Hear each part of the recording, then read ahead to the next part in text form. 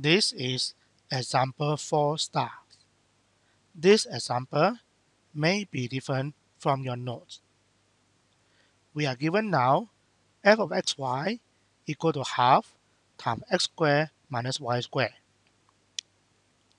Find the slope of the surface z equal to f of xy in the x direction at the point 1, negative 2. Before I answer the question, I'm going to do a demonstration by using Mathematica. This can be found in the website demonstrationwolfram.com slash partial derivatives in 3D.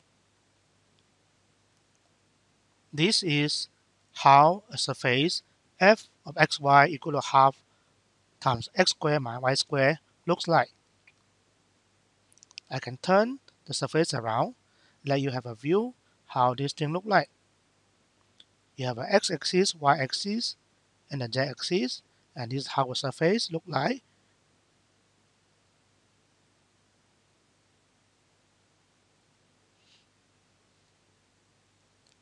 We are going to find the slope of the surface in the x direction at the point 1, negative 2 means x equal to 1, y equal to negative 2. Let's try to figure out where is this point. Let's turn the graph so that you can see clearly the x-axis. And I want x equal to 1. So I adjust the value of x from the slider and move the x until x equal to 1.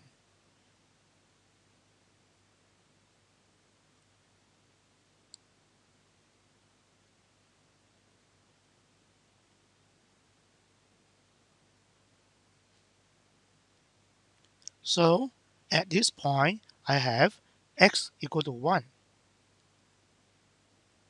Now I need to set my y to minus 2. Let's turn the graph around until I got a y-axis. And now I adjust my y to negative 2.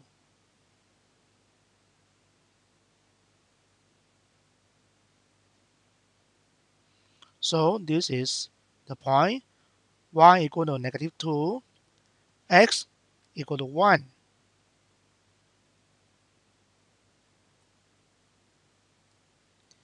So I have found out where is the point x equal to 1, y equal to negative 2.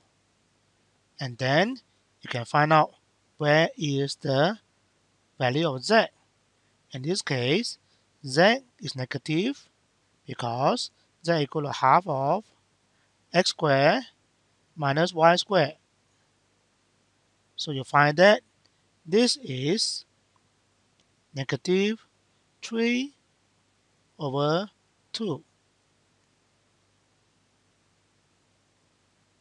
which is below the plane z equal to 0.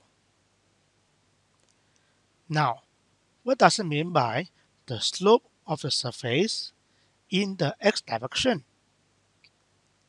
That means a point on the surface on 1 minus 2 must move along the x direction. Then you can find out what is the rate of change, which will give you the slope of the surface. Which also means we're going to keep y fixed and then find the rate of change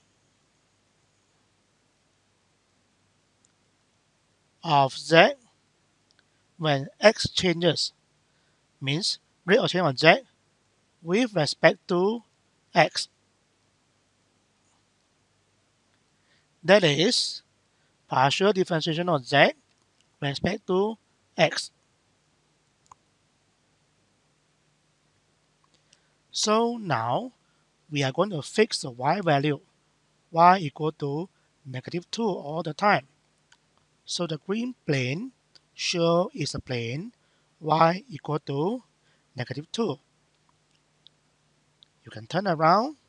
You see that y is equal to negative 2. The y-axis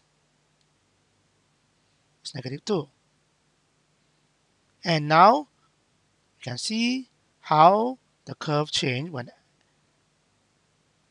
you when the plane cut the surface. The intersection between the plane y equal to negative 2 and the surface is shown here. Notice that the intersection is a curve.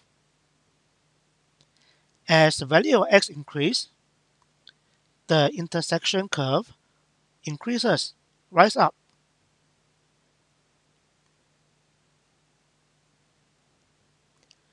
The rate of change of z with respect to x is measured by the gradient of this tangent line. This is dz dx.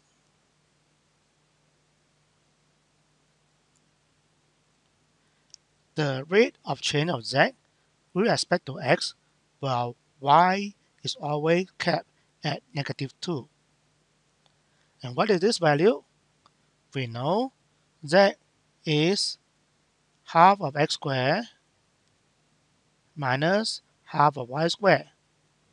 So dz dx when y is kept constant is half times 2x which is x.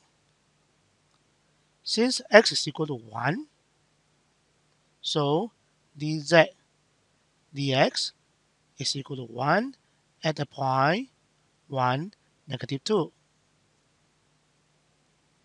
This rate of change is positive, indicating that z is increasing with x. We can also show the partial derivative here. Let's turn the graph around.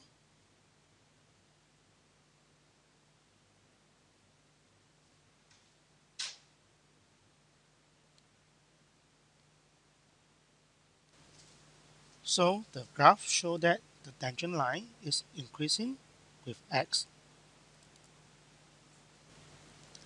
Similarly, to find the slope of the surface in the y direction at the point 1, negative 2 means to find dz dy.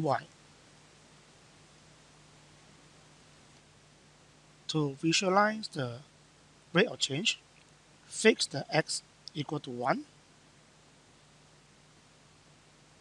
Then see how the curve change with respect to y.